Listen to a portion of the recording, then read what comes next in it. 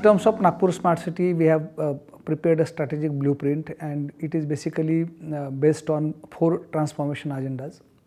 One is mobility, second is environment, third is infrastructure and fourth is smart governance. This conference covers all aspects of smart cities and it will be beneficial to all participants because various aspects of uh, the latest technologies and the best practices across the globe are being discussed, shared and it will certainly help us implement all those best practices in our cities. In terms of mobility, uh, it will really help us to understand the latest technologies which are available and how ICT based interventions can help us in ease the traffic congestions even in terms of the kind of vehicles which are being used in uh, other parts of the world, especially in European countries.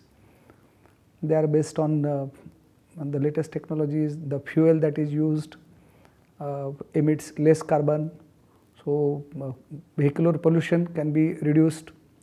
So, this will certainly help us improve mobility in urban areas in India. There is a proof of concept.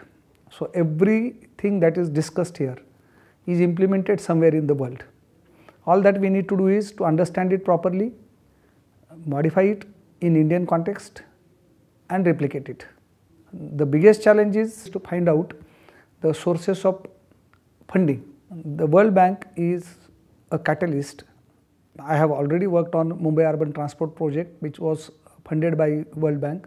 So, I know World Bank is a catalyst which will really assist India in terms of technical assistance and financial assistance. Intervention by World Bank will really improve or will really give impetus to the economic development of Indian cities.